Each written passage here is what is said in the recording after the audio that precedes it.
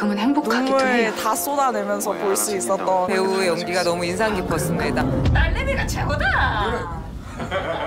사부에 네가 가끔 다른 사람이 돼. 가족들의 따뜻한 마음 내 딸은 나랑은 다르게 살았으면 좋겠고 다르게 살 수 있을 것 같다는 그런 생각을 하면서 봤습니다. 지영아, 너 하고픈 거 해. 82년생 김지영